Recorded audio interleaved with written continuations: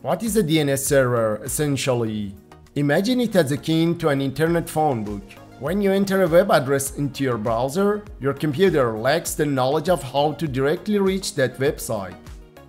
Therefore, it reaches out to a DNS server, abbreviated for Domain Name System, which translates the website's name into an IP address for your computer.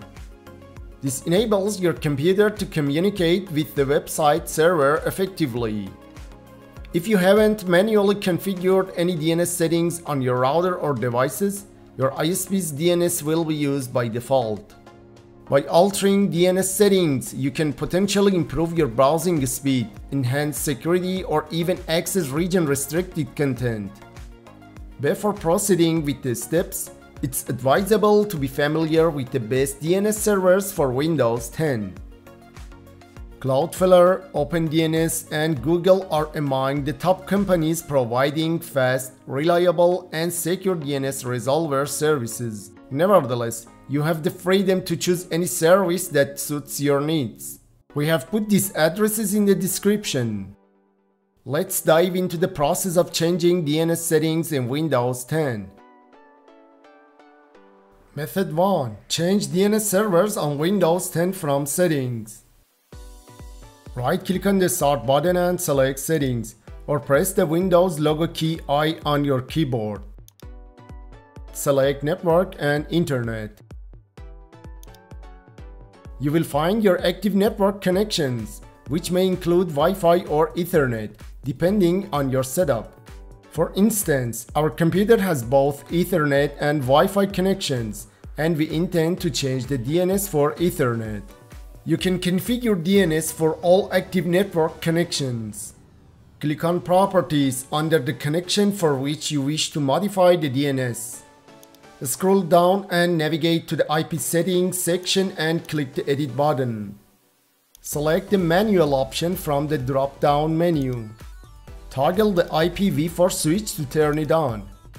In the Preferred DNS section, input the IP address of the DNS server provided by Cloudflare, Google, OpenDNS, or any other preferred service.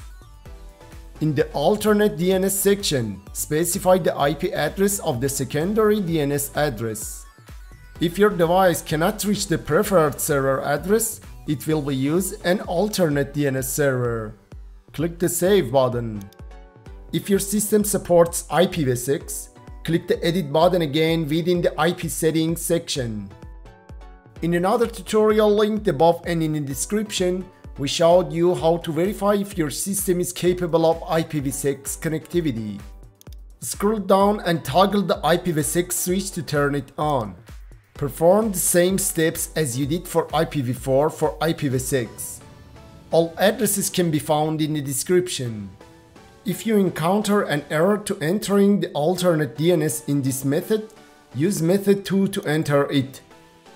Once you have completed these steps, the computer will continue to use a dynamic network address configuration, but it will now use the static DNS servers you specified.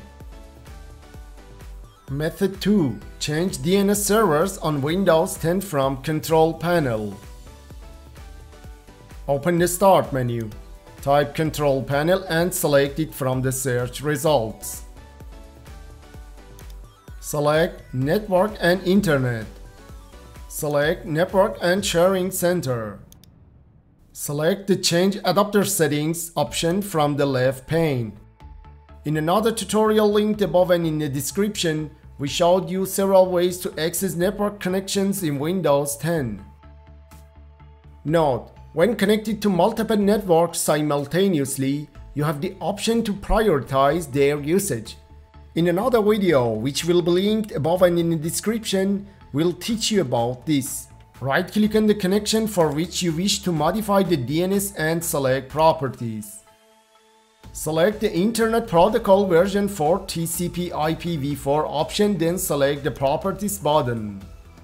Under the Use the following DNS server addresses section, specify the preferred DNS server, which is the server address of Cloudflare, Google, OpenDNS or another service.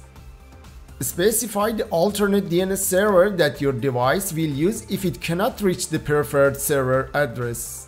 Select the OK and Close button to apply changes. If your system supports IPv6, right-click on the connection for which you wish to modify the DNS and select Properties.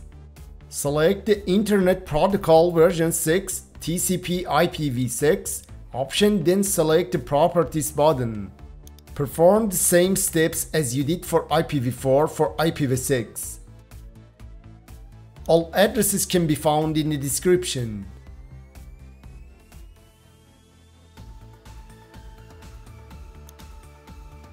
Once you have completed these steps, the computer will continue to use a dynamic network address configuration, but it will now use the static DNS servers you specified.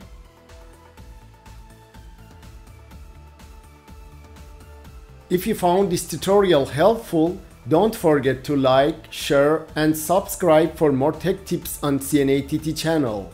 Thanks for watching.